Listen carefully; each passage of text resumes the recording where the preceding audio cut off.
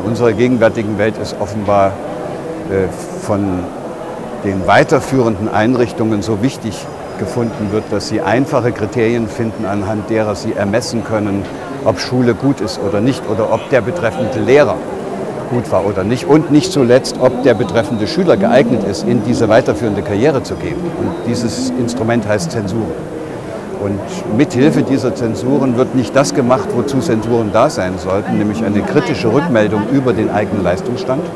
Das finde ich auch neurobiologisch vollkommen in Ordnung, das will auch jedes Kind. Sondern diese, Schulen werden, diese Schulzensuren werden benutzt, um Bewertungen vorzunehmen und äh, letztlich aufgrund dieser Bewertungen über Karrieren zu entscheiden. Und das ist unmenschlich. Und deshalb muss man das wahrscheinlich in Zukunft nochmal überdenken, ob man da auf dem richtigen Weg ist.